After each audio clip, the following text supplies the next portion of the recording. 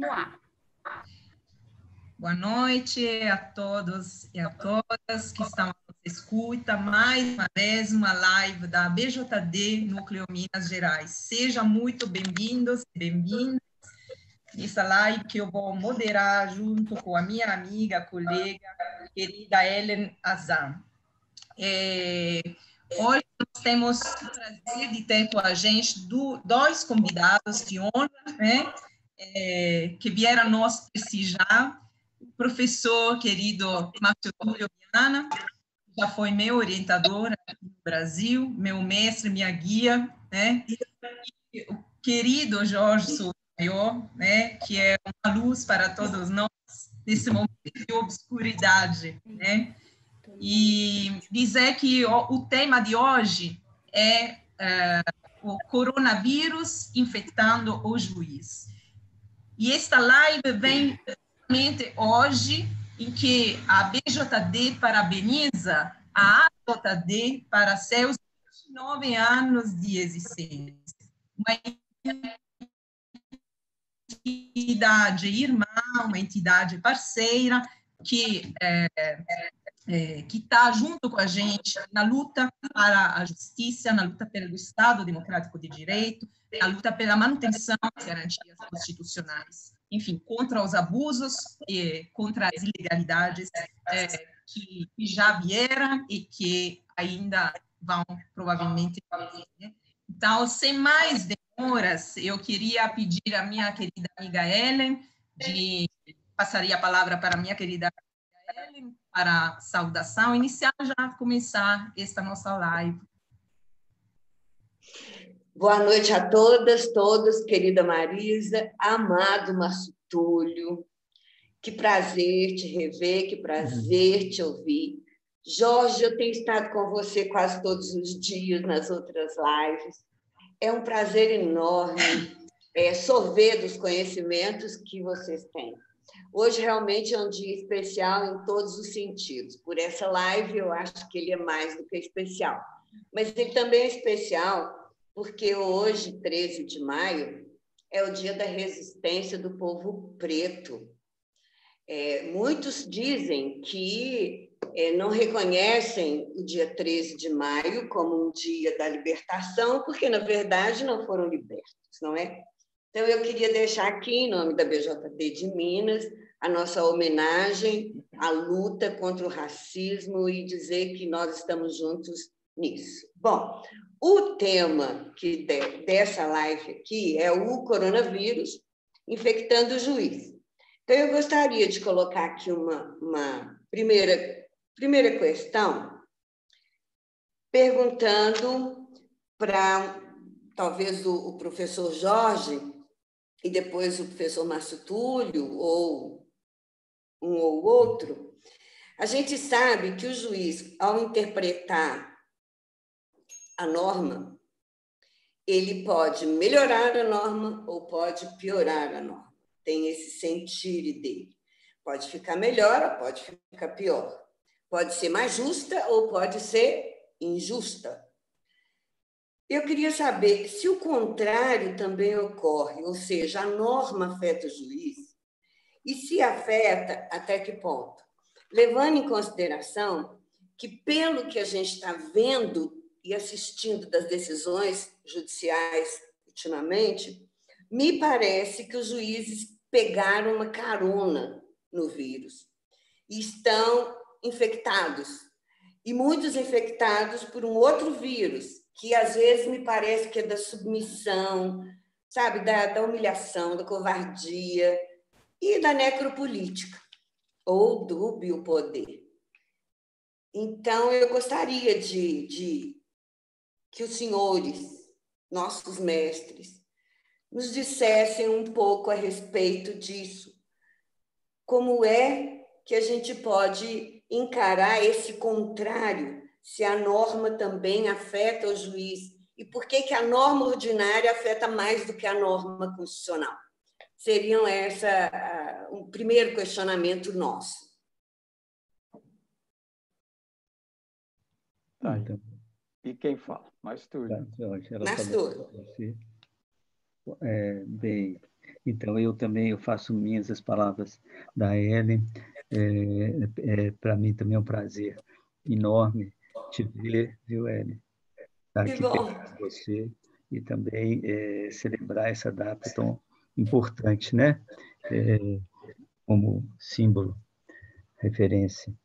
Mas, então, é, é, alguns cientistas já, é, já dizem que esse vírus, coronavírus, não é simplesmente obra do acaso, né? e muito menos castigo divino. Ele tem a ver com, com o que nós fazemos com a natureza, com o que nós temos feito com a natureza.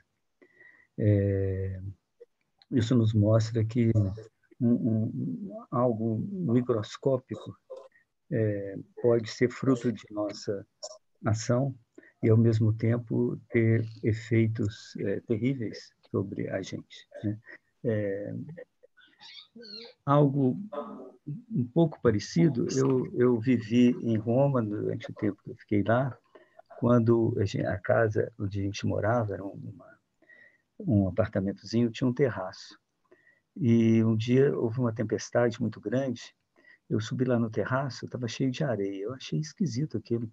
Chuva de areia? Perguntei para uma amiga italiana. Ela me disse: é a areia do Saara.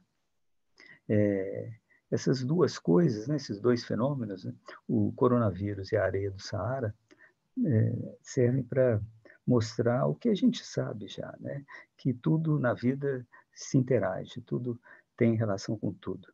É, o juiz mexe na norma, né? É, como você disse, ele mexe na norma mas a norma também mexe com ele. É, e também mexe para o bem ou para o mal. É, então, é, ele, é, a norma pode, por exemplo, uma norma, uma pequena norma sobre um pequeno assunto, pode, por exemplo, é, afetar a, a postura dele diante de outras normas que não foram mudadas. Pode servir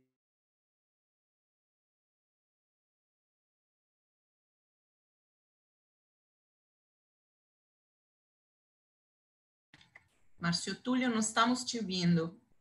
Isso. Seu som sumiu. Sumiu? É, volta um pouquinho atrás. É... Você parou no momento em que a gente estava dizendo. Ah, será que se eu pegar um, um fone de ouvido melhora? Será? Não, mas agora está bom. Não precisa, tá? Agora tá bom. Tá, tá ótimo. Tá, tá? Tá, tá. tá? Então, é, é, é, é, mais ou menos, eu não sei onde é que eu parei, mas enfim, eu, quis, eu queria dizer que é mais ou menos como a, a, a ferramenta do operário, né? Certamente a ferramenta do operário mexe com ele. É, é, é, ele, ele constrói com a ferramenta e a ferramenta também vai construindo não só o corpo dele, né, os sentimentos dele, o jeito dele ser.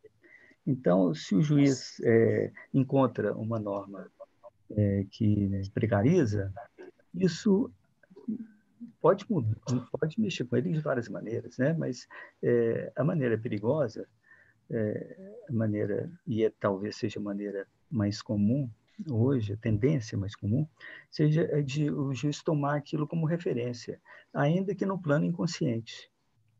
É, é como se o patamar de todas as normas baixasse, mesmo as normas existentes, que continuam a existir. Né? Então, nesse sentido, a gente pode até dizer que a nova norma ensina o juiz. Ela traz consigo uma pedagogia. Ela passa uma mensagem para ele como eu disse, em geral no plano inconsciente. Né? Por que isso? Né? É, é, o juiz é gente, né? Nós todos somos afetados por tudo, né? É, eu estava contando, acho que para o Jorge mesmo, que um amigo, um novo amigo aqui de Poços de Caldas, grande professor da área penal, Zanetti, ele me contou, ele advoga também na área penal.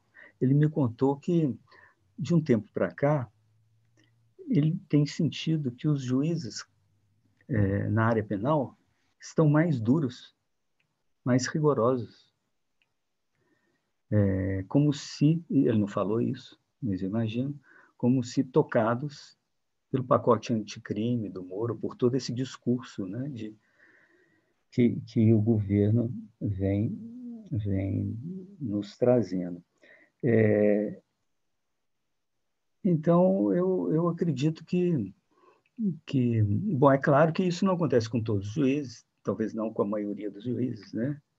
mas com muitos juízes. É, também porque é mais fácil você seguir a corrente. Isso também é humano. Nós procuramos sempre o caminho mais fácil, mesmo no plano inconsciente. Né? Aliás, é, é só no plano consciente que a gente não faz isso, quando a gente tem consciência do que quer, do que deve fazer. Mas no plano inconsciente, gente segue o caminho mais fácil. É, então, eu vejo hoje, mesmo de, um pouco de longe, porque eu não estou atuando, né? eu vejo de longe é, juízes que eram mais progressistas, mais à esquerda, digamos, voltando para o centro. Os do centro para a direita. E os que já estavam à direita, mais ainda à direita. Talvez até sem se darem conta disso. Ou pelo menos muitos sem se darem conta disso. Né? Eu, eu prefiro acreditar que as pessoas são bem intencionadas. Mas é, é, é, o que eu, é o que eu acho, né? É, o Jorge, vamos o que, que o Jorge acha. O Jorge. Obrigada, professor. Agradeço. Você não quer continuar falando, não, Márcio Túlio? É tão bom te ouvir. Eu prefiro, prefiro ficar aqui te ouvindo horas e horas. É, né, Jorge? É, você sabe que aquele programa que a gente fez junto, eu assisti depois, uma hora e meia, uma hora e quarenta e cinco, foi uma delícia te ouvir de novo. Nossa, você, é. sabe que eu tenho, eu tenho é. cisma de, de ouvir coisas que eu falo, de, é. de encontrar alguma bobagem. Eu, nunca, eu nunca vejo de novo, não. não. não. Bom, é, bom, primeiro, é uma, uma, uma maravilha estar aqui né, com a Ellen e com a Marisa, né? E com você, professor Marstúlio também, né? Para mim já vale, né?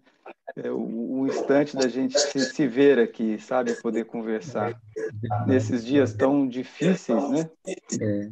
Pelo menos a gente carrega essas contradições de, de, de, se, de encontrar espaços e momentos de, de estar juntos, né? É muito é. bom, enfim.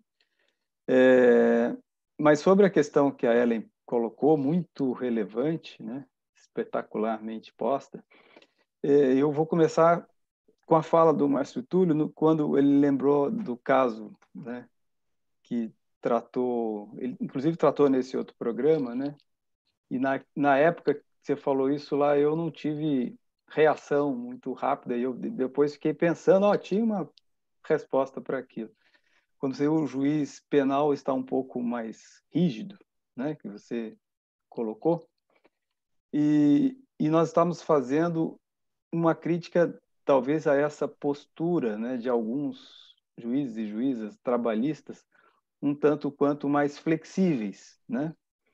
E aí é interessante porque uma coisa está unida à outra. É, parece parece contrários, não, mas não elas são uhum. iguais, né? Porque uhum. o juiz penal mais rígido, né, ele, de certo modo, está, entre aspas, né, sendo mais rígido e, e punindo as mesmas pessoas que são alvo da flexibilização Verdade. do direito do trabalho. Né? Verdade, né? isso muito bem, é, muito bom. É, é, o mesmo alvo, né? É, é o mesmo alvo, a classe muito trabalhadora. É, e, e há nisso e há nisso uma perspectiva que me parece relevante, disso que nós estamos tratando, é de, um, de, uma, de, uma, de uma virose, né? de, de um contágio, né? que essa, eu não diria que não só uma ou outra norma, né? mas um conjunto de normas e de iniciativas que vem sendo tomada a longa data, né? nessa perspectiva da flexibilização e da retirada de direitos, que tem induzido um modo de pensar né? É, que, e sobretudo, encamp muito encampado pela grande mídia, né?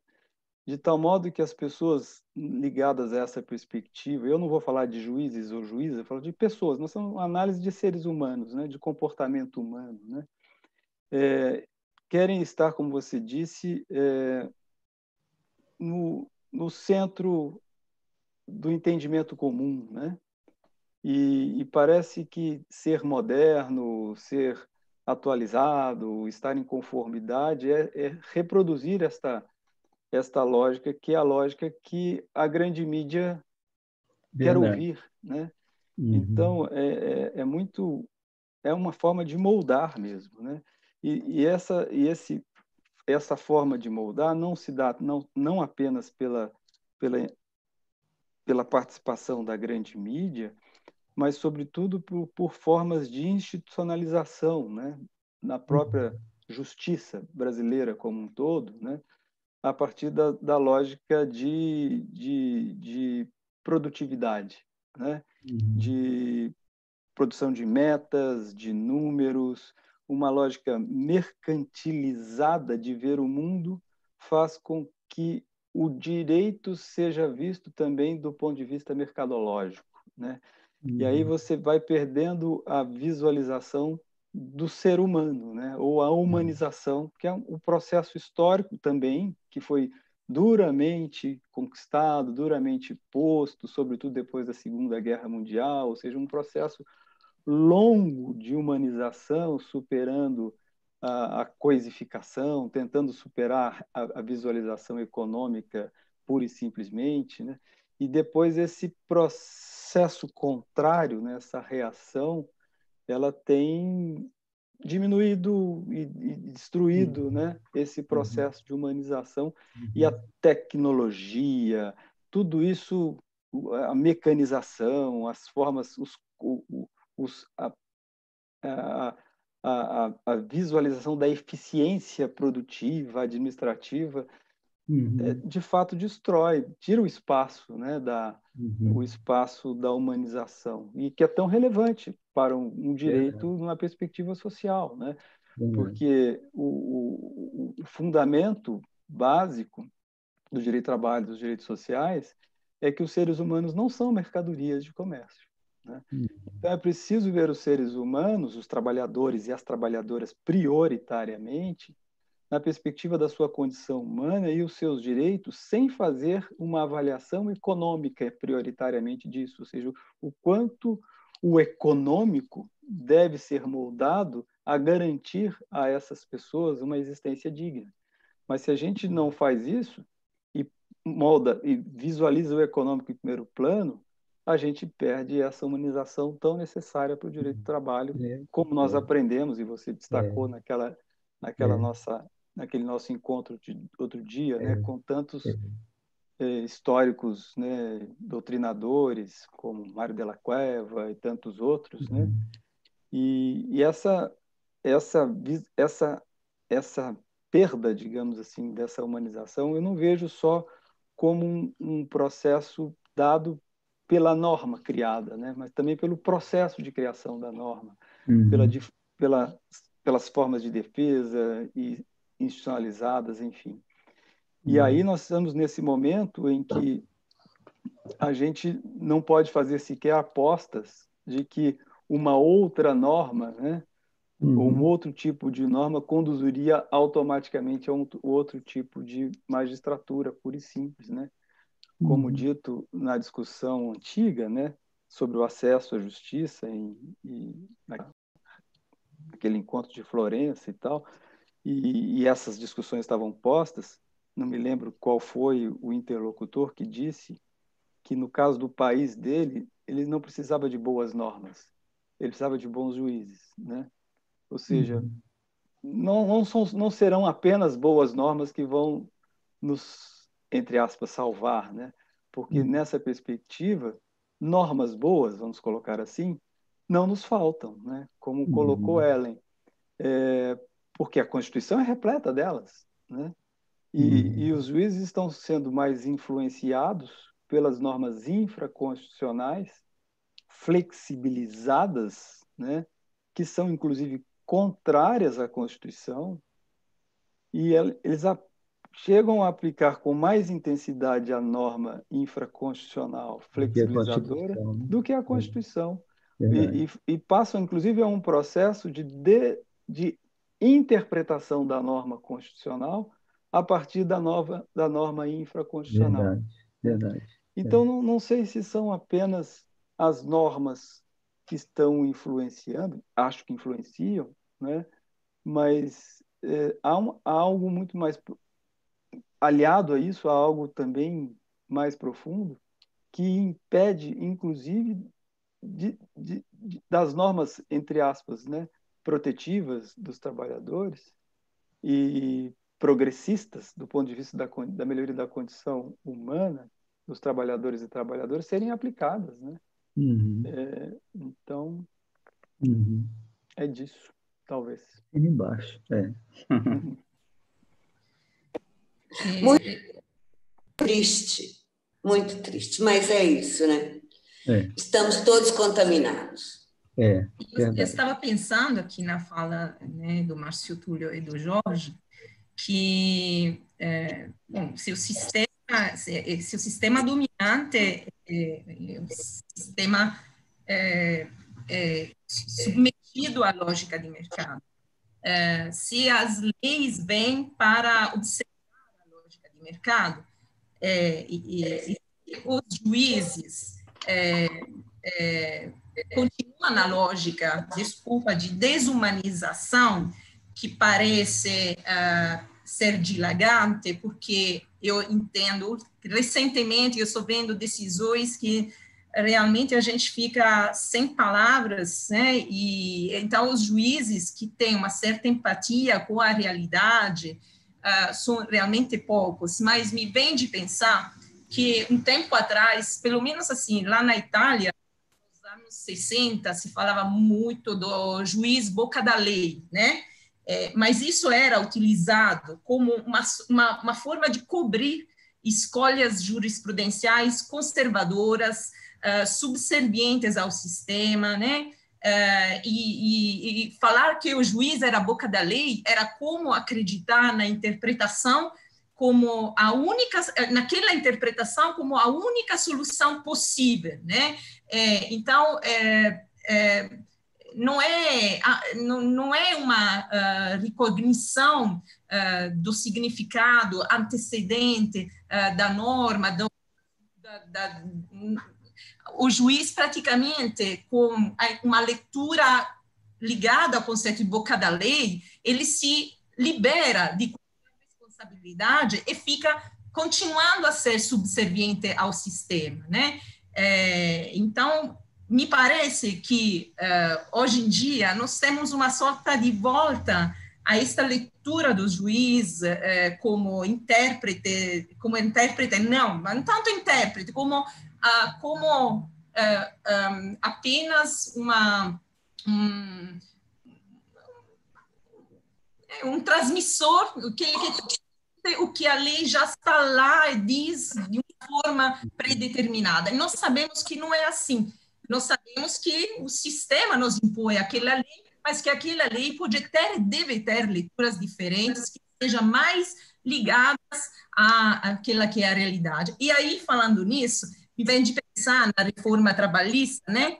É, na reforma trabalhista e elogiar também uh, os juízes do trabalho que elaboraram os enunciados para uma leitura diferente da reforma trabalhista, né? Que havia juízes que estavam pegando a legalidade da norma e com os enunciados se disse, né, se não me engano foi no CONAMAT, né, que foi definido, que, a, foi definido, que foi declarado e, e dito o que deve ser dito, que, uh, não, a, a, as normas não devem ser lidas por aqueles que são, mas devem ser lidas à luz da Constituição e dos princípios próprios do direito do trabalho. Então, eu pergunto para vocês, é, antes mesmo do coronavírus, a reforma trabalhista,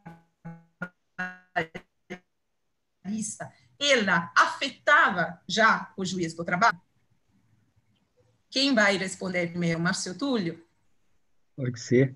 É, então, eu é, há, há, um autor, não me lembro qual, que, faz uma diferença interessante entre ideologia e utopia. É, diz mais ou menos o seguinte, que a, a, função da ideologia é manter o que está, né? manter as relações de poder. É, ou seja, ela é conservadora, por natureza ela é conservadora. Já a utopia é revolucionária, né? é sonhadora. É, se a gente for voltar. Michel Levy seria? Eu acho que é o Sennett, mas não tenho é, certeza. É, pode ser.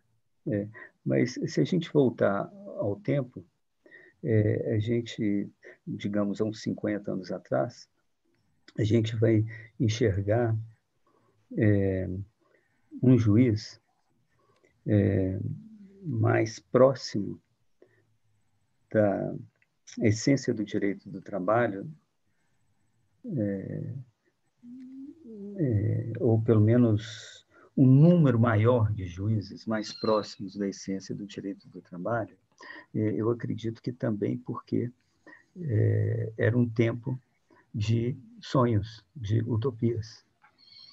Era um tempo de ideologia, o próprio direito do trabalho traz em si né, um traço de ideologia, mas era também um tempo de utopia. E o direito do trabalho traz isso também. Então, esse, esse, esse lado utópico do direito do trabalho correspondia ao sentimento de grande parte, ou de quase todos os juízes do trabalho. É, e a doutrina também acompanhava isso. Por isso mesmo, os princípios foram construídos mais ou menos nessa época, ou foram se tornaram fortes, né? mais ou menos nessa época. E eles eram fortes mesmo.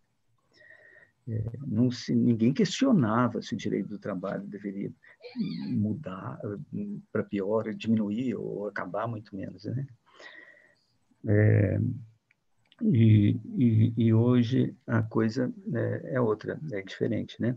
Então, é, antes mesmo do coronavírus, na, já na reforma trabalhista, mesmo antes dela, é, havia um número crescente de juízes, eu continuo achando que não é ainda a maioria, mas um número crescente de juízes é, sem esse traço, ou com menos traço utópico, porque todas as pessoas estão assim, não são só eles, juízes.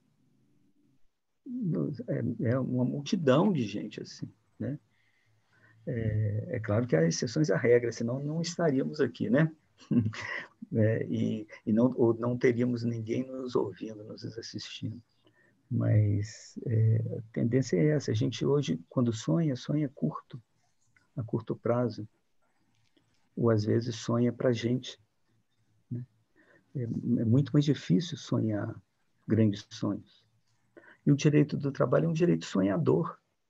Ele é diferente do, o direito civil na sua essência, nessa, nesse, nesse, pelo menos nessa, nessa, nesse aspecto completamente diferente, porque o direito civil quer manter as relações de poder, o direito do trabalho, mesmo dentro de limites, é um direito rebelde. Ele incomoda, complicado. Né? E, e sonha, sonha com o quê? Não sonha com um novo sistema, porque o sistema significaria a destruição dele próprio, né? Ele não é suicida, ele está dentro do sistema, mas ele sonha com, com conquistas crescentes dentro do sistema, o que é também muito difícil. A gente não pode subvalorizar isso. É muito difícil. Um sistema tão forte, ideologia tão massacrante, relações de poder tão desiguais, um direito ser assim, né? É, mas hoje, como dizer, a gente vive um, um, tempo, então, de menos sonhos, menos utopias, menos verdades, ou, ou, ou ao contrário, mais verdades, menos certezas, porque as verdades se multiplicam. Você pode defender qualquer coisa. E com isso, os, até os princípios do direito do trabalho, que o defendiam, entram em crise, é, o, princípio da proteção, que é o básico, né? Você pode, poderia dizer até que é o único princípio do direito do trabalho, começa a ser lido ao contrário. Você diz, ó, para proteger o empregado, preciso é, diminuir direitos, ou seja, desproteger. Né? Então, até isso se diz. É, isso significa que, que a reforma já encontrou um, ju, um juiz, ou, ou, já encontrou pessoas assim, né? Vamos falar de todo mundo, de muita gente. E, e ela também ensinou o juiz, está ensinando o juiz. O que, que ela está ensinando o juiz? Eu diria que ela está ensinando o juiz a trabalhar com a fraude. Não contra a fraude, mas com a fraude. Porque ela traz dentro dela, essencialmente, a estratégia da fraude. Ela joga com a fraude. Ela sabe o que, que acontece na vida. O legislador sabe o que, que acontece na vida. Ele sabe quais são os valores de hoje. Joga com isso. Por exemplo, ela sabe que ele sabe que o trabalhador, todo mundo, todos nós queremos nos sentir mais empoderados, participar mais. Nós fazemos tatuagem, nós gritamos as nossas verdades, queremos participar de tudo quanto é programa de televisão. É, enfim, queremos afirmar o nosso eu de uma forma maior do que antes. É, ela sabe que o trabalhador, como gente do seu tempo, também é assim Todo mundo é assim. E, mas sabe também que as, que as relações são desiguais, continuam desiguais, ou talvez sejam mais desiguais ainda. Jogando uma coisa com outra, ela institui uma regra é, privilegiando a vontade, entre aspas, do trabalhador, sendo que ele pode decidir, ele pode negociar. Ou ele pode ser autônomo exclusivo. Ele, ele, trabalhador, pode até se sentir bem com isso. Né? A, a, a, sociedade, boa parte da sociedade que não conhece o, o mecanismo do direito, se engana também com isso. Né? E o estrago está feito. Então, o legislador ele é desonesto nesse ponto. Não é simplesmente equivocado ou não é não se trata só de uma ideologia que ele escolheu, qualquer um pode escolher o caminho que lhe convém, né? Pelo menos acredita-se nisso. Mas não é isso, é, ele age desonestamente, ele age com subterfúgio, ele age, age com a fraude. E o juiz, então, é, inconscientemente, eu quero crer, grande parte dos que agem assim, agem inconscientemente. É, dentro, é seguindo o fluxo, é o clima. É o clima nos puxa para isso. Então, se você não tiver consciência disso, você vai no fluxo. Então, o sujeito é, começa a dar, por exemplo, mais importância ao contrato formal está lá escrito que o sujeito é autônomo, então ele fala, é autônomo, porque ele já está, já está, já, já introjetou essa lógica da fraude, mesmo sem observar que é fraude. Alguns talvez observem, mas acredito que muitos não. Ele simplesmente desliza na onda, surfa na onda. Né? É o que eu fico achando de longe. Eu posso também estar exagerando, posso estar errado, porque, como eu disse, eu não estou militando como juiz nem como advogado, né? Só dando minhas aulinhas aqui como professor e cuidando da horta nos domingos, agora com o coronavírus. Só isso. né, Marisa? Oi, então, Jorge. É, é, vou, comentar um pouco sobre o que o Márcio falou importantíssimo a sua fala. E vou começar pelo aspecto da fraude e da, como você bem chamou, da desonestidade, né, é, do legislador. Mas vou pôr isso, colocar isso num processo histórico, é, como você mesmo sugeriu, né, de que a gente viveu um momento de utopia, né, e, e depois ah, o, o sonho, né, acabou se tornando na, no conflito de, de interesses, digamos assim, e na, na correlação de forças, né, o sonho de uma qualidade passou a um defeito. Né? É, de tal modo que depois de, da década de 70, 90, né, que a gente vivenciou o neoliberalismo correndo solto, uma forma de, de ofender alguém era chamá-la de sonhador. Né? É, e depois, isso para se contrapor à ideia de um direito do trabalho que pudesse efetivamente melhorar as condições de vida dos trabalhadores e das trabalhadoras, ou seja, um direito de trabalho progressivo. Né? Desse, desse momento histórico da resistência, digamos assim, da, do setor patronal, né, em face do avanço dos direitos trabalhistas, isso o Catarino fala de uma forma muito precisa, né, uhum. passa-se a um momento de ataque. Né, né? É. E aí não é só o argumento contra o sonho, né, é uma de melhorar as condições dos trabalhadores, mas passa a ser a, a, a, lógica econômica falando tão alto na perspectiva de reduzir esses direitos. Né? E aí a classe trabalhadora, os sindicatos, que antes faziam greves, inclusive para melhoria das condições, passam a fazer greves para resistir às, às reduções. Verdade. Né? É. E, e essa visualização econômica, esse processo de de desumanização, ele não tem mais fim, né? ele vai se somando a cada instante, sem muita resistência, ah, até se chegar ao ponto, né, que é o, tema sugerido pela, pela Marisa, que você bem enfrentou, da, da reforma trabalhista, que é posta numa inversão total de valores, né? Uhum. Uma desonestidade, como você chamou, mas ela, ela é o efeito de todo esse processo histórico, né? em que os direitos dos trabalhadores aparecem como privilégios, os direitos já reduzidos num processo histórico de flexibilização, é, seja, os direitos quase nenhums são apontados como, como é, privilégios e que quem defende esses direitos é, é, tido não mais como sonhador nem nada, né? Óbvio que coisa doida, né?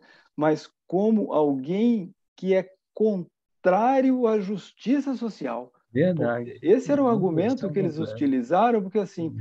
Esses direitos aí impedem que milhões de pessoas desempregadas tenham algum trabalho.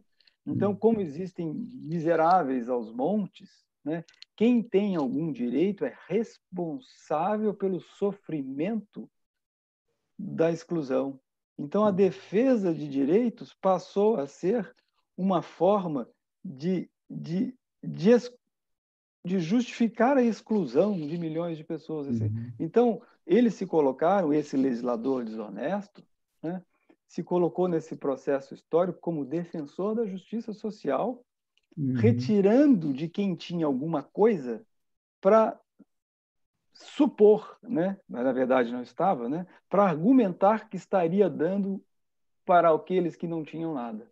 Né? Uhum. É, uhum. e aí o processo histórico de exclusão de ninguém se fala, só se falou então naquele instante de uma suposta distribuição da miséria. Né? Os uhum. miseráveis os trabalhadores miseráveis sendo os responsáveis pela situação mais miserável ainda dos desempregados, e uhum. vamos então fazer uma distribuição desta miséria como fator de justiça social. E quem for contra uhum. isso é que é defensor de privilégios. Né? Nós chegamos a um ponto de total inversão. Esquizofrênico, né? Esquizofrênico, esquizofrênico, né? Mas que colou, né? agarrou em muita gente e muita gente acha que hoje está fazendo isso, está fazendo justiça social, quando Verdade. reduz direitos dos trabalhadores para proteger as empresas. Né? A Justiça Verdade. do Trabalho está vivendo esse momento agora na, na, no contexto da pandemia, de inúmeros magistrados que estão reformulando acordos, suspendendo o cumprimento de acordos que, que eu peguei um caso hoje, assim, o reclamante levou 10 anos para conseguir chegar a um acordo com a empresa na Justiça do Trabalho. fizeram, ele tinha 15 mil reais para receber, fizeram um acordo para receber 10 mil reais, não sei quantas parcelas. Depois, depois de 10 anos de tramitação do processo. Agora, no meio da pandemia, o que, que o juiz fez de modo é, é, ex ofício? Suspendeu o cumprimento do acordo, porque a empresa estava em dificuldades econômicas, e autorizou a redução das parcelas. Né? É, é, são coisas assim que estão acontecendo que, que você vê que, a, que o processo histórico de, de desumanização foi muito profundo. Né? Uhum, né? uhum. E nós estamos agora no momento de, de, de uma reconstrução muito mais difícil, a uhum. mim parece. Né? Verdade. É, Verdade. É, e, e não só esses de ah. suspensa. Oi, desculpa. Pode falar. Desculpa, não, não, desculpa, vai, continua. Não. Continua.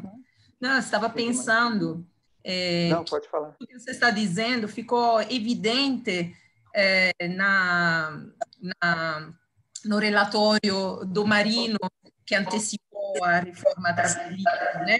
Do Marino e também no relatório do Ferraço lá no Senado, né? Não, consta, consta expressamente lá. consta argumento. expressamente a, a, a fraude, a, a má-fé, né? quando se fala não podemos mais negar liberdade ao povo brasileiro, aos trabalhadores, quando se fala que as normas que afetam o sindicato vêm para empoderar o sindicato, né?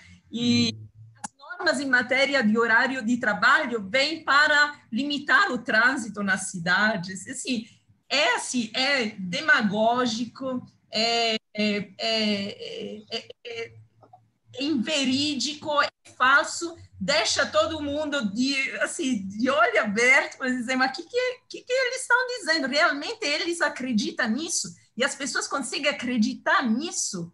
Que é, é tudo falso, é pós-verdade, as pessoas acreditam no que é mais conveniente. E isso é o princípio do lawfare também, o utilizo do direito como uma arma né, que é uma, uma das uh, grandes pragas uh, desta época. Né? Desculpa ter interrompido, mas veio claramente, assim, naturalmente veio a ligação. Que... Uhum. Uhum. Jorge. Concluiu, Jorge? Sim, sim, claro. Concluiu. Eu fico aqui pensando que a gente fala em esquizofrenia, fala em loucura. Isso, isso para mim não é, é, é, é, perversidade mesmo, sabe? É maldade. É, é uma, uma política pensada e repensada e que usou toda uma mídia para poder fazer com que, inclusive, pessoas que deveriam defender o direito do trabalho, que são juízes, advogados que deveriam defender Ministério Público, membros, não defendem e aplicam a norma. Eu não estou dizendo que esse, essa pandemia sombria que ataca a gente desde a década de 90 é responsabilidade só do juiz. Ela também é responsabilidade de nós, advogados, que não fazemos pedidos com base na Constituição ou normas internacionais, que fazemos cursos, veja bem, nós temos associações que fazem cursos ensinando a aplicar a reforma, a deforma trabalhista e não a se defender dela. Uhum. Então, nós temos realmente aquilo que o Mastudo falou no início, nós temos realmente um problema seríssimo em relação à questão da humanidade, sabe? Eu fico pensando, você vê que nessa fase, nessa fase que nós estamos, nós temos pedidos no judiciário de equipamento de proteção individual para pessoas que trabalham em hospitais. Tivemos uma decisão lindíssima de primeira instância. Não, nem foi de primeira instância, foi direto no dissídio coletivo de natureza jurídica, saiu na mídia do TRT3. Mas como foi um juiz que estava substituindo, que estava no plantão, quando volta o outro juiz, parece que ele se senta à beira de um lago, numa placitude, e fala: não, tudo é improcedente, ou a teoria da improcedência é mais fácil. Eu não sei, eu não sei explicar. Mas juiz que antes eu acreditava que tinha essa visão, Mastúrio, que tinha um, um, uma visão social do direito, simplesmente caça e diz lá em abril: não, pode fornecer até 10 de maio. E o que nós temos aqui nesses locais em Minas Gerais são infecções de trabalhadores por falta de equipamento de proteção individual. E aí, na hora que você vai cobrar da empresa, você vai ajustar alguma questão com, com a patronal, seja coletivamente ou não, ela fala: não, mas eu tenho aqui uma decisão que fala que eu só tenho que entregar o equipamento de proteção individual daqui a 20 dias. Então, assim, é uma desumanidade, é uma questão que, que, que me deixa numa tristeza tão profunda e numa revolta tão grande, que às vezes eu tenho vontade, sabe, Mastúlio, sabe, Jorge, de chegar para essas pessoas e falar: por favor, tenta voltar a ser um pouco humano. Né? Nós estamos falando de pessoas que estão morrendo. Então, isso é uma questão assim que me enoja, me enoja muito. E eu sei que essa razão não é uma razão é, de, de, de juízes, mas é de todo, todas as pessoas que estão aqui laborando com esse direito social, com essa utopia. E aí eu fico pensando nas diferenças, sabe, Mastúlio, é, que existem entre os mesmos juízes que estavam ontem e os juízes que são os mesmos hoje nas relações dele com a sociedade. Que diferenças são essas? Se ele tinha uma visão social do direito, ele perde essa visão social contaminado por essa mídia, contaminado por essa eu não quero adjetivar, sabe, nem dar nome aos bois, mas por essa loucura, essa pós-verdade.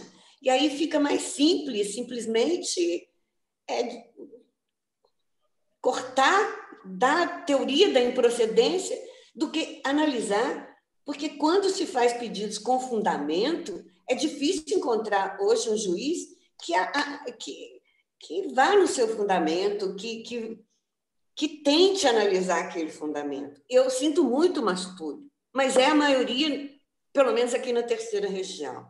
Infelizmente, é a maioria. Eu estou muito triste e apavorada com tudo isso, mas eu queria que você me falasse um pouco sobre essas diferenças que você mencionou ontem e hoje entre as relações do juiz com a sociedade, com essa questão da humanidade dele, com a visão social que é obrigatório o juiz do trabalho ter, e ele simplesmente abandona e falo, não, agora o econômico é mais importante. Então, queria... por favor, Márcio Túlio, é, me alegre um pouquinho, me alegre um pouquinho. Só antes do Márcio Túlio falar, posso dar um Por beijo? favor. É, mas é só porque, assim, porque as pessoas estão nos ouvindo, né? E, uhum. talvez, e talvez elas estejam pensando que a gente, quando fala em humanização dos juízes, que a gente está rogando né, ou preconizando que eles façam um favor para os trabalhadores e as trabalhadoras. Não é disso. Né? Não, não é. Não Nós é. estamos falando é, de direitos que estão constitucionalmente consagrados, que estão expressos na Constituição, que estão expressos nas normas internacionais, nos tratados, né? e que são também expressos, não é, não é, não é errado falar isso do ponto de vista jurídico, expressos nos princípios. Né? Então, é, é uma humanização para que se consiga ver o que, o que está dito na norma do ponto de vista da melhoria da condição social dos trabalhadores e das trabalhadoras. Né? é, e não que se aplique o, um, um, direito para essas pessoas que elas não os tenham, né? Uhum. Elas têm esses direitos. E, e, na verdade, o que acontece, outro dia conversando com a Valdete sobre isso, né? o processo de desumanização faz com que o direito que se cria é um direito contra a legem, né? É um direito que este sim é, é, digamos, inventado pelo juiz. Né?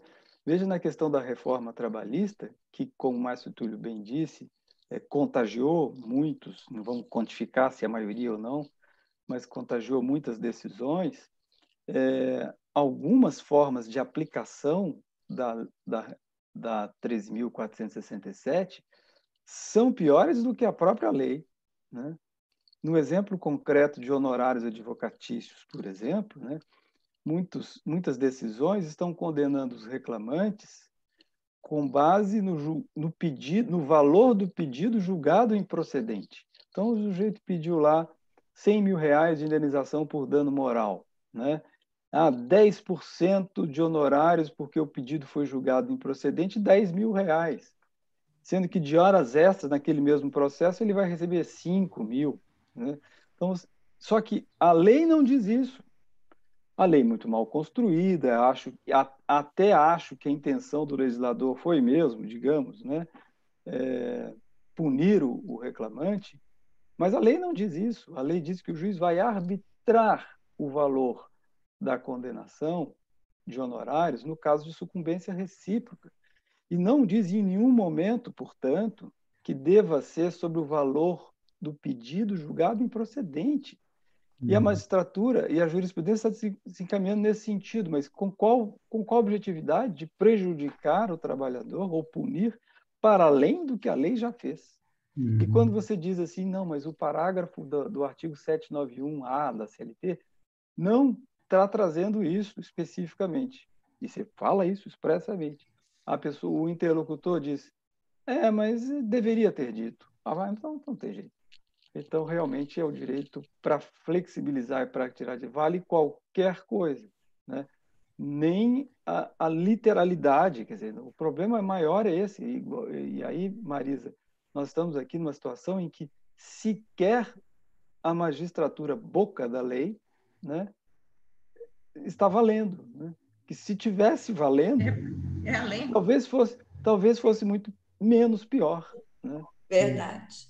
Jorge, e, e, quando a gente fala de humanização do juiz, assim, não precisa que o juiz seja um empático necessariamente, porque um juiz do trabalho, ele deveria limitar a aplicar os princípios do direito do trabalho.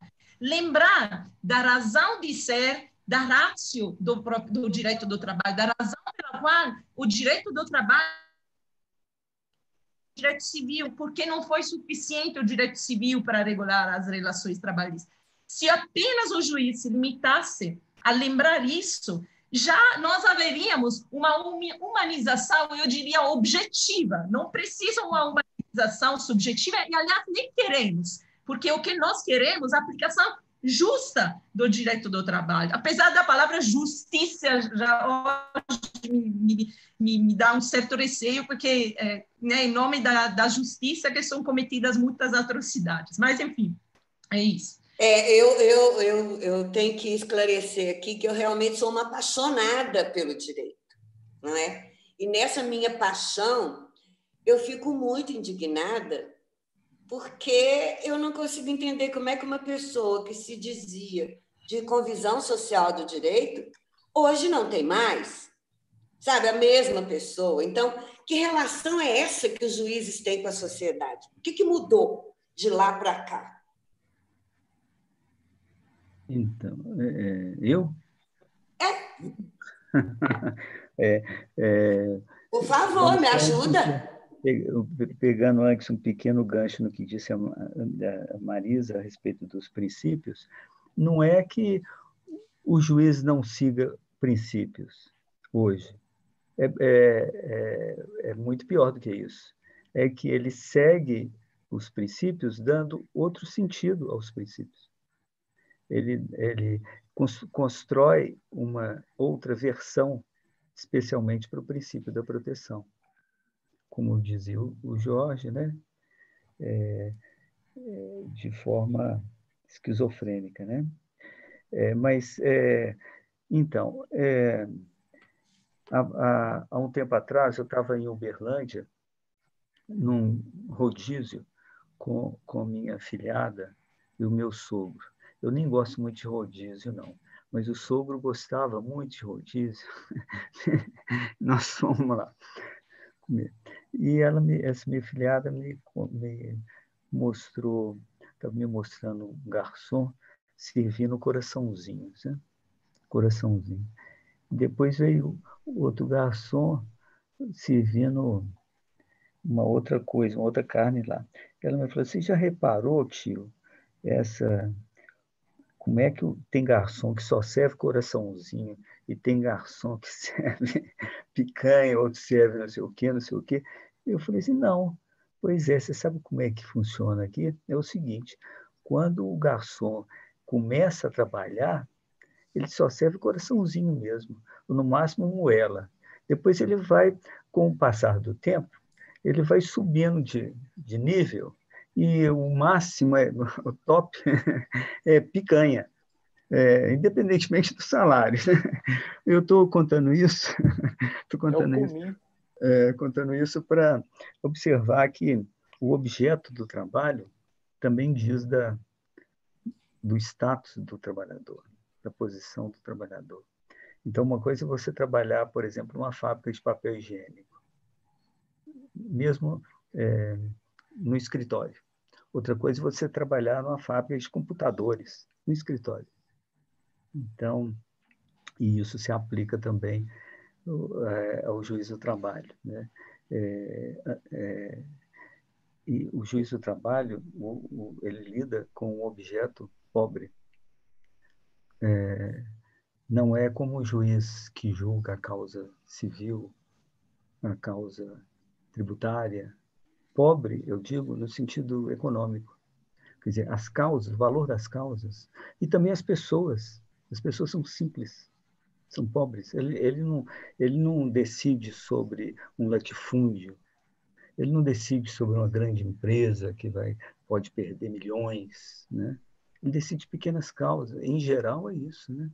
É um aviso prévio aqui, é um, uma pequena indenização ali. É, e o, e o, tra o, o, trabalho, que é o centro da, da decisão dele, é o trabalho subordinado.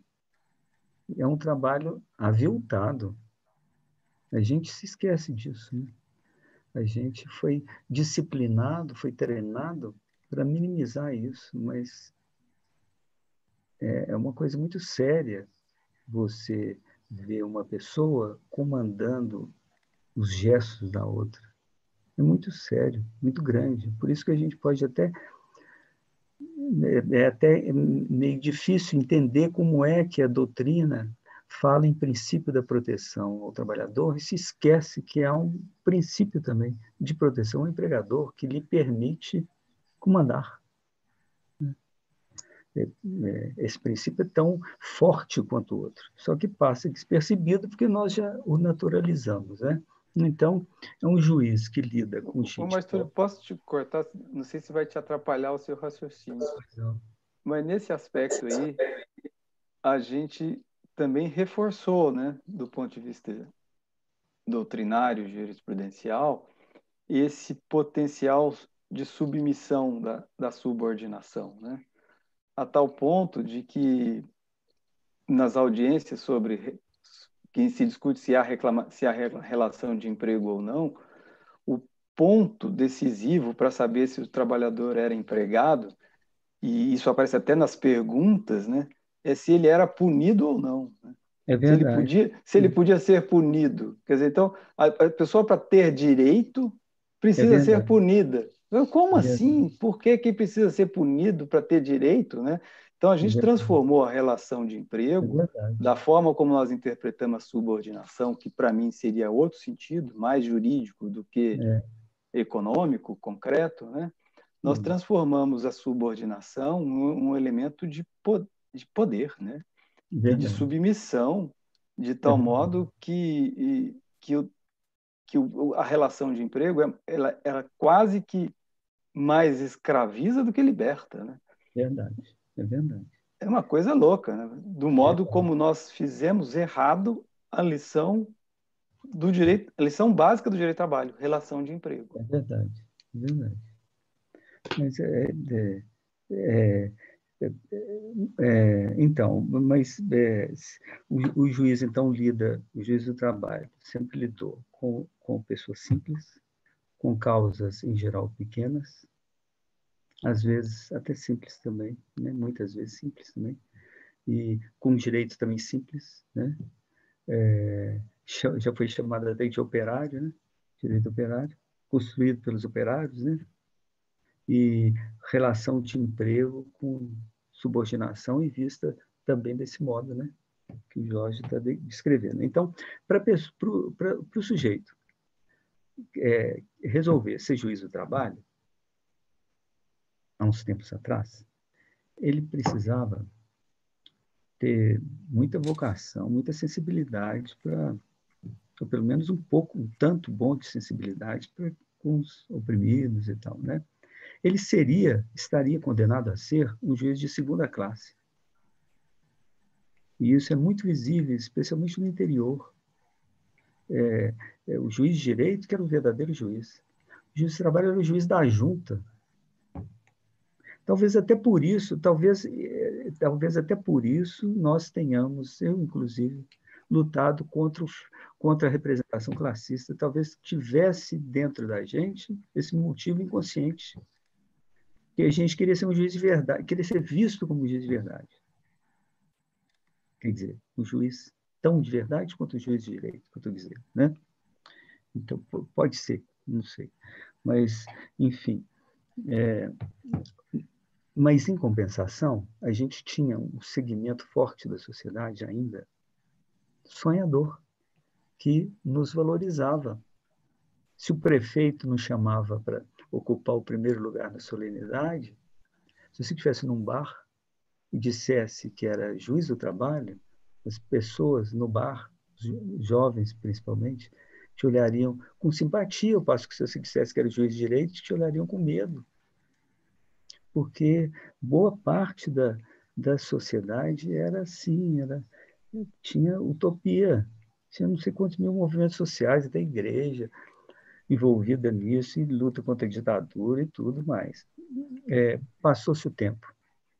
Agora, como eu dizia, né, muita gente diz, os sonhos diminuíram, e, ao mesmo tempo, os, a carga ideológica neoliberal chegou como uma avalanche sobre pessoas que não tinham não tinham ouvido outro discurso né, na vida, jovens que não tinham ouvido outra coisa na vida, né? e além disso uma instabilidade total. Então o que que o, que que o cara quer, o jovem quer? fazer concurso. Concurso para quê? Qualquer coisa. Bom, é claro que se for ganhando bem e também tendo autonomia, né? sendo juiz, tanto melhor. Mas juiz de quê? Qualquer juiz. Ou Ministério Público, qualquer um. Então, é, tem essa explicação para alguns juízes, ou para muitos, digamos, né? mas não todos. É, outra coisa que eu vejo é que hoje a gente é, nós vivemos um tempo é, de mais ânsia por liberdade, por igualdade. Isso se disseminou, se aprofundou. Então as pessoas não querem hierarquias. O, o, o, direito até, até só por ser regra, já, ser norma já, já, já já entra em crise, né? Ainda mais o direito do trabalho, que é a norma imperativa. Então, as pessoas querem igualdade, mais igualdade, pai, filho, aluno, professor, todo mundo, mulher e marido, não digo que as mulheres querem mandar no marido, não é coisa invertida, mas no mais é assim, né? Então, o juiz é, é muito mais vulnerável, ele se torna muito mais vulnerável muito mais vulnerável. Ele é cobrado muito mais, ele é visto, vigiado muito mais. Ele pode derivar, ele pode transitar de anônimo para popstar em poucos dias ou semanas, e de popstar para bandido, ou vice-versa, facilmente. E isso, inclusive, na sala de audiências. As partes, os advogados, se portam hoje de uma maneira diferente daqui, daqui se portavam. Eu tive um aluno, auditor fiscal ótimo, Tiago Moraes, é, escreveu uma, um trabalho muito bom, ele me disse mais ou menos isso, que antes, quando ele ia multar alguém na rua, o sujeito recebia lá a notícia da multa é, com, com cara ruim, é claro, né? mas pagava ou, ou resmungava. Agora a tendência é o sujeito falar, falar assim, mas que multa é essa? O que, que diz a lei? Deixa eu ver aí. É, eu, não, a lei não diz isso, não. É outra coisa. Você está lendo errado, não sei o quê. Então, até a pessoa que é multada quer participar. Tem, se sente no direito de participar. Né? Há pouco tempo, eu até eu fiz uma pesquisa, vou fazer uma propaganda, assim, aproveitar, né? com uma amiga, grande amiga, aluna, ex-aluna brilhante lá da Federal, a Raquel Portugal. Fizemos um livro, anos de pesquisa aí sobre os fatores que, que afetam o juiz, chamado O Segundo Processo. E nesse livro, a gente, pesquisando, a gente viu como é que, como é que os juízes estão reagindo a essa crise de autoridade, vamos colocar assim. Né? Uns se tornam muito mais autoritários, tentando repristinar, tentando compensar o poder perdido. Desesperadamente, talvez. E talvez inconscientemente. Autodefesa. Outros, o contrário, tentam é, ser mais democráticos, seduzir mais do que impor. Talvez estejam sejam, claro, né? talvez não, o caminho certo. Né?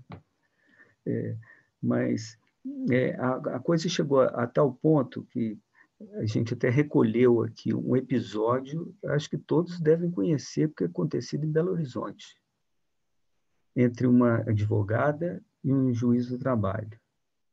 O juiz disse para ela, doutora, a senhora está me, me desrespeitando. A senhora está presa. E, ele, e ela então responde para o juiz: Nesse caso, o senhor está preso por abuso de autoridade. Coisas assim seria, seriam impensáveis, inadmissíveis há 30 ou 40 anos. E se isso acontece na audiência, também acontece no, no, no ambiente maior né, da sociedade. Então, se a sociedade toda, está vigiando o juiz, cobrando do juiz, olhando lá o juiz, vê que, e tal, sabendo até da vida pessoal do juiz, cobrando, questionando é, e exigindo que o juiz cumpra não a lei que foi feita, mas a lei que ela está fazendo, ela, a sociedade, está fazendo naquele momento, a lei que ela fez naquele momento, a justiça que ela quer naquele momento. Né? sociedade tem essa postura diante do juiz, ela quase pede para o juiz fazer justiça pelas, pelas próprias mãos, desde que seja do jeito dela. A lei pouco importa. O juiz tem de decidir desse jeito, condenando, condenando esse cara aqui, condenando o outro, absolvendo o outro. Não importa o que, que diz a lei, Constituição, não. É juiz. Então, se ela tem essa postura diante dele, é, ele também para como numa posição de autodefesa, ele tende, mais uma vez, a seguir o fluxo. Então, ele tende a julgar como a sociedade espera que ele julgue. Às vezes, conscientemente, mas eu quero crer que, na maior parte das vezes, inconscientemente. Ele é pressionado, ele, é, ele, é, ele vai com o bolo, ele, ele vai... Ele é gente, o juiz é gente. Oh. O ambiente, o clima é esse. Ele está imerso nisso. Então, se ele não tiver consciência, se ele não tiver autocrítica, se ele não, não souber o que está acontecendo com ele, ele às vezes pode seguir o fluxo, pode se tornar assim um juiz menos humano, menos sensível, mais automatizado, sem notar que está fazendo isso, achando, se achando um bom juiz, um juiz correto. Eu acredito. Mas, Túlio, eu posso. Eu acho que a gente precisa fazer um registro histórico importante aqui. me ocorreu. É, porque do jeito que as coisas estão colocadas, e acho que está bem colocado, e acho que tem uma, uma compreensão entre nós né, bastante coesa sobre este, este movimento, talvez, de desumanização que nós estamos falando e tal, mas é, é preciso fazer um, um registro histórico, também pontuar, por dever, né? não por favor também, que senão fica parecendo que a justiça do trabalho lá da década de 60, 70, né? É, foi mil maravilhas é, e que é e que esse saudosismo às vezes eles nos traem um pouco uma análise mais objetiva, né? É, no, no, nos estudos históricos que eu tenho de jurisprudência e tudo mais, não me parece que tenha sido assim tão tão perfeita essa justiça antigamente e até acho mais, acho que existiu um movimento bastante relevante do ponto de vista da justiça do trabalho, influenciado muito pelo Ministério Público do Trabalho depois da Constituição, né? no sentido de um, de um processo de reconstrução do direito do trabalho, do direito do trabalho constitucional. Né? Uhum. Sobretudo depois de 2007, a partir do primeiro, da primeira jornada lá da Ana Matra, e depois de 2011, com a reformulação do próprio TST, né, dos enunciados, é, é, é, é possível verificar desse período de 2007 em diante uma transformação positiva jurisprudencial da justiça do trabalho em muitos temas, né? em temas como assédio moral, como dano moral, muitas questões que não habitavam o cotidiano da, da justiça do trabalho, da jurisprudência, né? questionamentos de constitucionalidade do banco de horas, embora muita coisa ficou ainda, né? É, digamos, na, no plano da derrota, digamos assim, mas muitas conquistas foram postas e muitas tensões foram postas. E existe uma gama enorme de, de juízes e juízas, né? E aí, para não citar nomes, mas assim, não são poucos, né? Esses, essas pessoas que foram militantes nessa perspectiva da efetivação dos direitos sociais, né? dos direitos trabalhistas e talvez por isso até a justiça do trabalho tenha sido alvo de muito ataque, né? esse avanço jurisprudencial trabalhista e essa resistência, esse avanço do direito constitucional, talvez também tenha sido um fator que provocou, e, e tem muita gente que diz isso, né?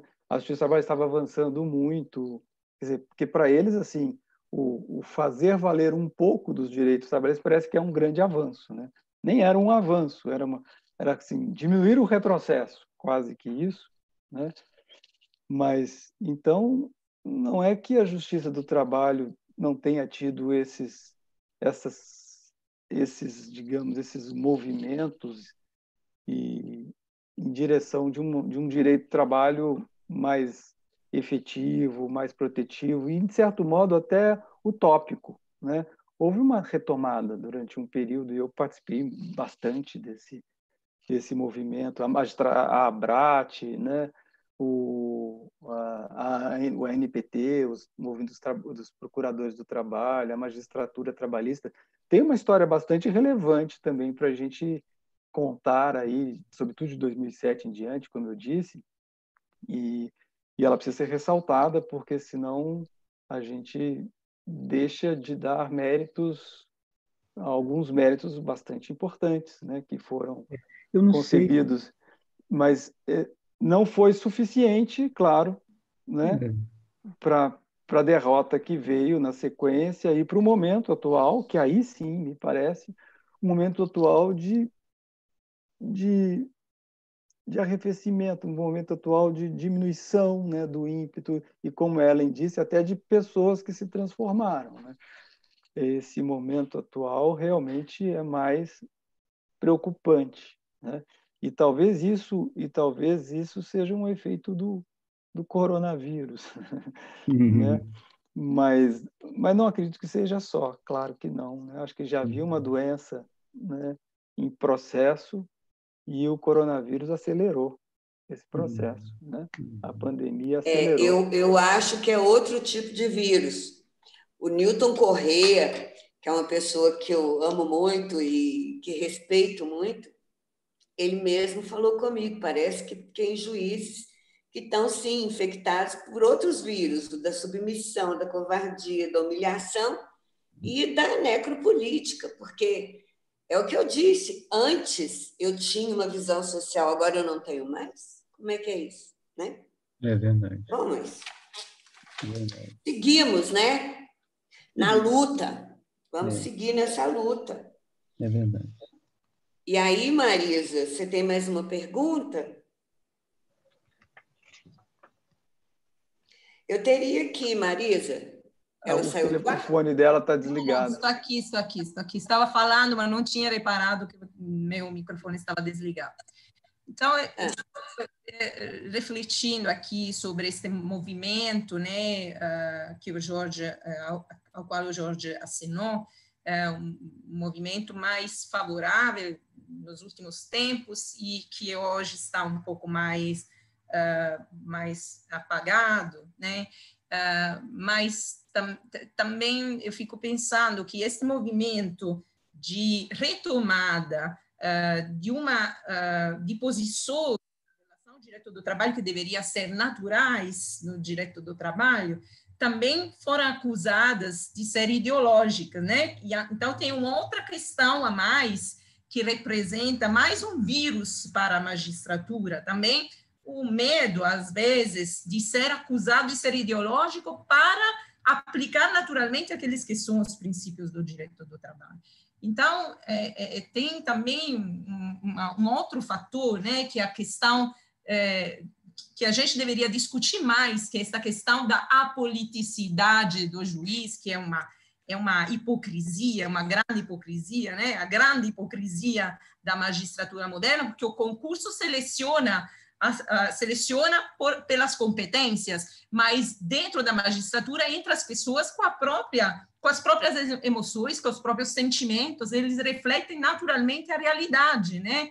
Então, é, é, a independência, ela vem sendo, é, vem sendo é, é, conceituada de uma forma meio hipócrita, porque a independência do juiz deveria ser a independência de todos os poderes, mas não significa que ele deve abdicar das suas ideias, dos seus princípios, porque senão a gente teria uma, uma, uma interpretação unânime de todas as normas de lei. O juiz existe para interpretar a lei e ele interpreta com base também na sua visão da realidade, né? Então é isso. Eu acho que como nós temos visto tem tido vários movimentos, por um lado é, em prol do direito do trabalho, por outro é, afetando o juiz nas leituras que ele faz. O que nós podemos esperar agora depois deste coronavírus, né? é, em termos positivos, porque é isso que a gente está querendo, né? É, raciocinar também em termos positivos. É, o que nós podemos esperar do trabalho para o futuro? É, eu? Quem vai responder? Márcio Túlio. Pode ser. Eu, eu acho que é, é, é, meio difícil fazer previsão otimista, né? é meio difícil, mas é, vamos tentar, né? É, um, um, um, fator importante que aconteceu, já apontado por outras pessoas, é o fato de que é, trabalhadores que eram ignorados, desprezados, né, é, tidos como de segunda ou terceira classe, como os motoboys, por exemplo, ganharam protagonismo né, nessa, nessa história do, corona, do coronavírus. E como provavelmente outros vírus virão, né, é bem provável que isso de novo aconteça. Isso por si só não significa muita coisa, mas é, talvez é, nos é, dê esperança de que é, movimentos sociais, movimentos sociais que não o sindicato, possam se juntar ao próprio sindicato, né, que parece estar em declínio, para reavivar às forças de resistência. É, se a gente for acreditar só em sindicato, eu acho que a, a, a, a tragédia é, será irreversível, porque eu duvido muito que o sindicato encontre nesta crise, nessa pandemia, forças que as forças que lhe faltam. Eu acho que que a partir dos anos com a crise, com essa grande crise dos anos 70, 80, eu acho que que o, que o capital se reestruturou de forma a, a implodir o direito do trabalho, apagando o fogo que fez nascer o direito do trabalho, fez o direito do trabalho crescer e fez o direito do trabalho ter alguma efetividade. Atacou o mal pela raiz, digamos assim. Soprou o fogo, como alguém chega no, no, no fogão e sopra o fogo que esquenta o macarrão. Né? Ali óleo, né? Você sabe fazer provavelmente tão bem. Né? Eu sou ótima, eu cozinho muito pois é. bem. Pois é. Então, e, então a, a, houve todo um reaparelhamento do sistema de vários setores, várias dimensões, inclusive subjetivamente, né? aproveitando os valores da pós-modernidade. Então, é, o sindicato sozinho já não consegue o que conseguiria e nem conseguirá, duvido muito. Ele te, teria de voltar a ser provavelmente algo parecido com a coalizão que o antecedeu. Tem que ser um sindicato, sindicato que vai e volta, é, flutuante, é, que, que abarque trabalhadores de todo tipo e que se alia a movimentos sociais de todo tipo. É a única esperança, se é que existe essa esperança. Né? Eu, eu acredito que sem a criação de um ambiente assim, forçando o empresariado e forçando o legislador, a tendência é se usar esta crise de hoje, a crise econômica que se sucederá a de hoje, como justificativa para eternizar essas medidas que acabaram de vir, para solidificar a reforma trabalhista e para e progredir nessa mesma direção. Então, é preciso criar um ambiente avesso, ao contrário, ao ambiente que hoje o juiz respira. Ele respirando um outro ambiente, um ambiente de, de resistência, ele também será um juiz diferente, ele voltará a ser um juiz diferente. Isso eu estou tentando voltar ao nosso ponto de partida, né? já que o personagem aqui hoje da conversa é o juiz. Então, se, se o ambiente o fez de um jeito, um novo ambiente pode transformá-lo de outro modo. Eu acredito que o, o direito do trabalho do futuro é um feeling, é uma sacação. Quem sou eu para prever coisas? Né? Mas eu, eu, na base da, do feeling, da intuição, eu imagino que o direito do trabalho do futuro, daqui para frente, será um direito para existir, será um direito é, permanentemente assediado, permanentemente disputado, permanentemente contestado. Vai ter que ser brigado a cada instante, a cada semana, a cada mês. Foi-se o tempo em que você podia descansar sobre o que a CLT já tinha escrito. É uma luta, tem que ser uma luta constante, dia a dia. Eu estava falando, até fiz um artigozinho simplesinho, é, é, comparando a, o, a, o direito é, como a gente conhecia com uma casa, é, com as paredes sólidas, protegendo, limitando, protegendo. E hoje o modelo seria a rua. Um direito parecido com a rua. Parecido com a rua. Com pessoas entrando e saindo, é, é, muito mais caótico, circunstancial e disputado, sem, sem abrigo, sem parede, sem, sem nenhuma proteção. Então, é, o próprio direito que protege precisa hoje de proteção. Ele está, ele está, ele está, ele está é, tendencialmente solto, solto, sem paredes. Né? Eu vejo assim. Então, eu acho que o que nos espera é um ambiente de luta. E não é luta passageira, né, esse governo, não. Daqui para frente, de luta constante. Essa que é a, a nova é a nova realidade do mundo. Do mesmo modo que as pessoas vão lutar assim também pelo emprego, pela pelo prato de comida, talvez pela namorada, pelo é isso. É isso. E o coletivo com isso, o coletivo, né? O coletivo, quer dizer, a casa do direito corresponde à casa do sindicato. Hoje não, o sindicato também se desfez como casa, está se desfazendo como casa. O, o coletivo está dando lugar ao difuso. É um difuso e o confuso. Então, eu acho que, bom, que que eu imagino que seja assim, tomara que eu esteja errado. Eu não sei se isso é um mal, não. Mas, enfim, é isso. É... Bom, eu vou. É, é, o que a gente conversou outro dia, né, Mastúrio? E você com essas suas ideias, é, que são espetaculares, a gente ilumina né, o nosso, nosso pensamento. Mas eu diria, como te disse outro dia, que essa sua visão não é pessimista. Né? Primeiro, ela é fruto de uma análise do concreto, né? E que ela projeta uma tendência que não é simples futurologia, né?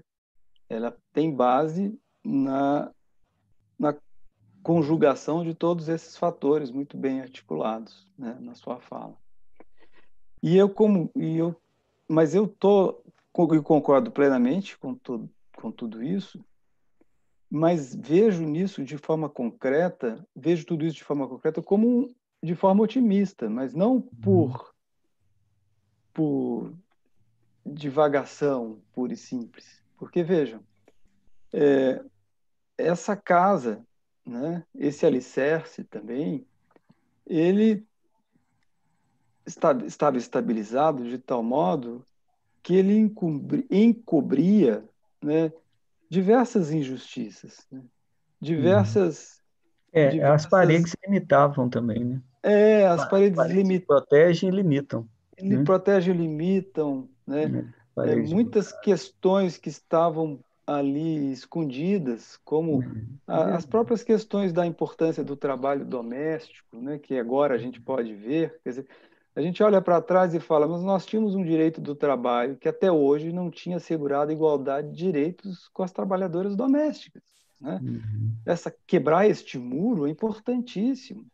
Nós tínhamos um direito do trabalho que consagrou e, e, e retroalimentou a terceirização, né? como instituição do direito do trabalho, né? Então a gente tinha essa essa e, e, e esses os sindicatos também, durante muito tempo, se moveram dentro deste, desta casa, estou usando a sua alegoria, me permita, né? na perspectiva de, do tratamento, é, não vou dizer egoístico, não, não é bem isso, mas um tratamento direcionado especificamente às suas categorias, né? uma noção uhum. de categoria. Né? E, às vezes, categorias que não apenas não dialogavam com as outras, mas que também, digamos, inviabilizavam a lutas de outras. Né? Falei isso, inclusive, uma vez numa, num congresso de sindicatos, com vários sindicatos. Eu falei, mas, aí o que eu quero saber concretamente até hoje, por que, que quando tem greve de, de metroviários, né, os bancários vão furar a greve dos metroviários, né?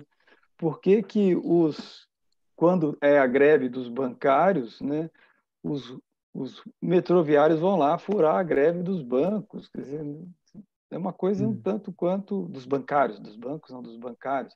Uhum. Então, havia, e, e, de certo modo também uma forma de, de, de retroalimentar a terceirização como forma de, de adicionar direitos para a categoria efetiva. Né? Então, nós tínhamos muitos uhum. problemas. Né?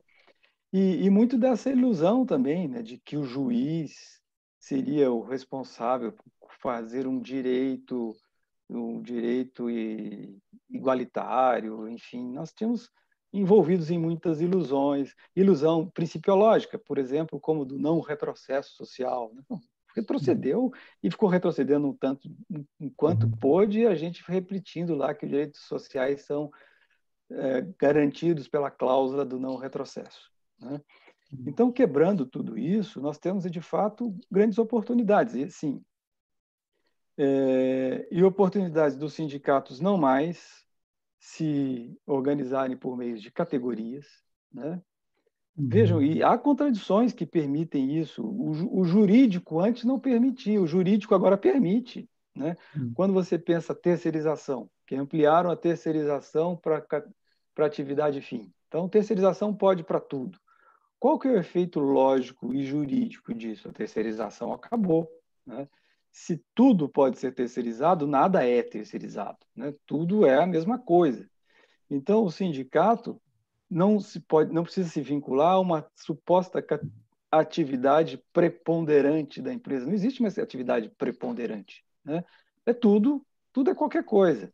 Então, se tudo é qualquer coisa, juridicamente, o sindicato pode se formar sem impedimento técnico positivista para defender os terceirizados, os não terceirizados, os preponderantes, os excluídos, né? Uhum. os que estão desempregados. Né? Uhum. E aí o sindicato tem possibilidades jurídicas hoje, na rua, né? como você põe, né? É, para conseguir se reconstruir de, de, um modo socialmente. E eu acho que isso é uma tendência natural que, que, que as contradições elevam, né? trazem. E, e, portanto, essas tensões elas vão existir, queiramos ou não, né? Uhum. porque não há de se imaginar que num processo histórico de que conduza à barbárie, vamos dizer assim, que isso vai ser assistido, que as pessoas vão ficar assistindo isso, não? As, as, as uhum. revoltas, as, as organizações, as mobilizações, elas vão ocorrer, né?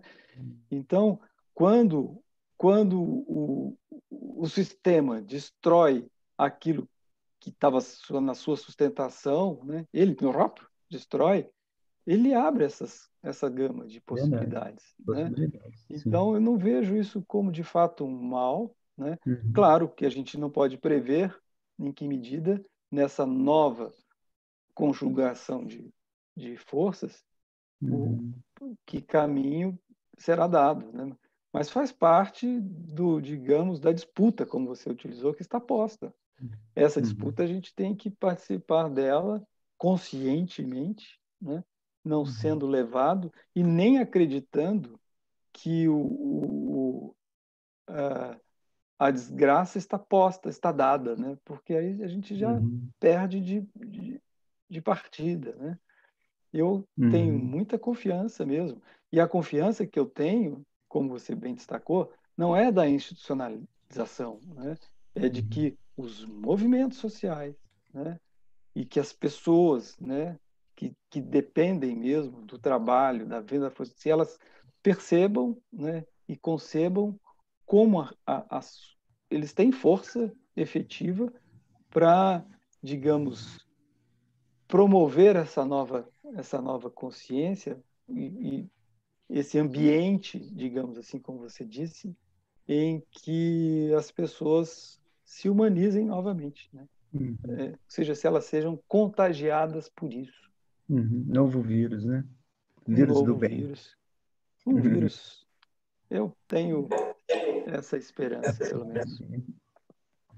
Fato é que eu acho que assim a conclusão de tudo isso a, a gente a gente tem que refletir bastante é, sobre o fato que a gente não pode perder a oportunidade de uma crise, né? Então, não, eu já ouvi falar por alguém, é, nós não podemos desperdiçar esta crise, é, porque se a gente pensar na crise uh, 2007 de 2008, a verdade é que o sistema capitalista ele não controla uma resistência efetiva e o sistema ele se uh, recompôs com mais brutalidade, né? Então, nós tivemos banqueiros que foram ajudados, é, salvos, aliás, pelos estados, é, os cofres públicos foram esvaziados, se reduziram direitos e garantias uh, em nome do desequilíbrio fiscal e assim vai, né? Então, agora, o coronavírus, ele veio e mostrou a falência do sistema do sistema capitalista, né? Ele, a gente já, já sabia, né? Mas agora ele é, é, está posto, está claro para todo mundo. E até eu, sim, eu, eu disse isso ontem numa aula, até os grandes apoiadores da escola de Chicago agora prezam por medidas que são de tipo mais keynesiano, né? Então, a maior presença do Estado, na Itália se falou de requisições até de hospitais privados para o sistema público, auxílio emergencial. Então, a importância do sistema público, a importância de, uh, de repensar esse Estado mínimo que não serve para nada, porque o Estado que ele, uh, que de, numa crise como essa, vem para uh, salvar seus então, assim, lembrar que uma das lutas né, dos sindicatos e de todos que é, lutam pelos direitos sociais deve ser a, a, a, revogação da emenda 95, né, que foi o título dos gastos públicos. E uh, queria também dizer que eu li no Financial, no Financial Times uh, uma notícia né, que tem notícias que são dadas praticamente para uh, ah, para operadores do setor. É, meu irmão que me mandou esta notícia, ele é um economista, né? E, e, e, lá se fala que se o vírus continuar a espalhar, é, as fragilidades do sistema, eles têm a, a, capacidade de desencadear uma nova crise de dívida, né? E isso vai cair nas costas de quem? Os trabalhadores. Depois dessa crise, de, é, em que agora está é, o Estado está se prodigando para esse auxílio emergencial, tentar salvar as empresas, os trabalhadores, etc. Quem vai pagar a conta de tudo isso? Então, assim, a gente precisa aproveitar agora dessa crise, não podemos fazer o erro que já fizemos em passado, nós precisamos, talvez, parar um momento, ficar refletindo, pensar em quais poderiam ser as soluções. E fato é que, se continuamos fazendo o que estamos fazendo, continuaremos conseguindo o que estamos conseguindo. Então, é isso. Acho que é, a, a, a, o nosso papel como juristas é pensar, refletir, fazer o que a gente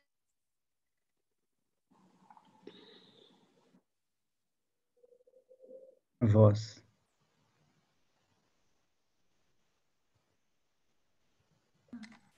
Oi? seu fone estava desligado.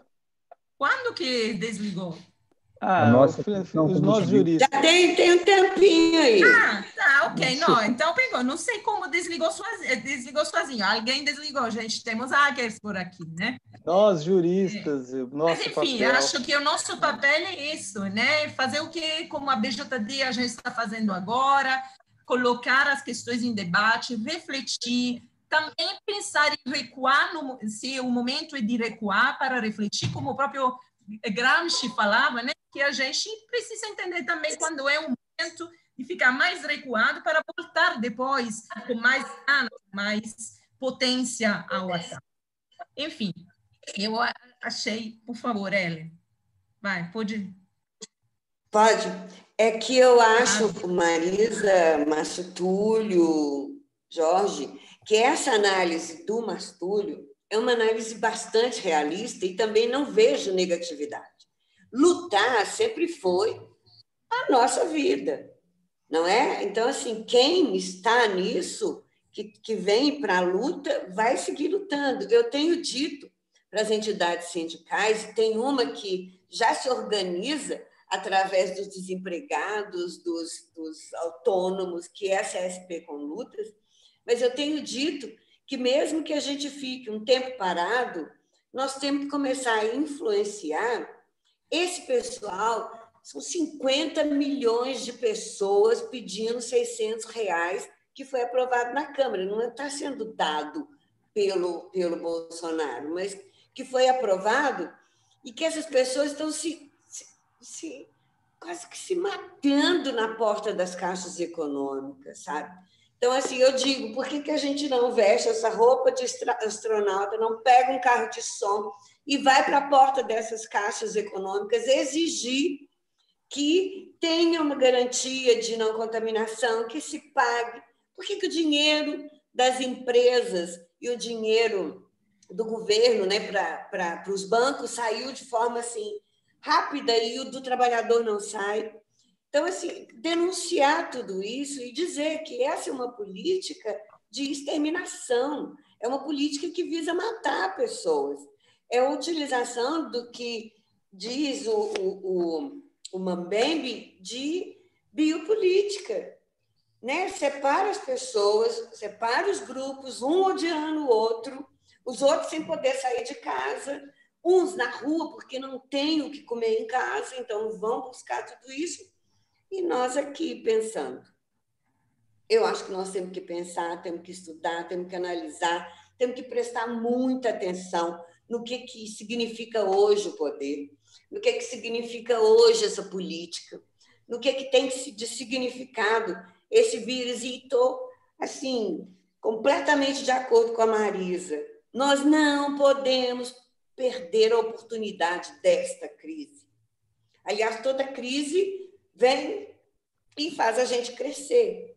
Mas nós não podemos perder a oportunidade dessa, porque eu acredito que essa seja uma das últimas possibilidades que nós temos. Eu, eu não sei se a Marisa vai encerrar agora, mas eu, vai, eu gostaria de, de dizer para todo mundo que o que nós temos que fazer é lutar.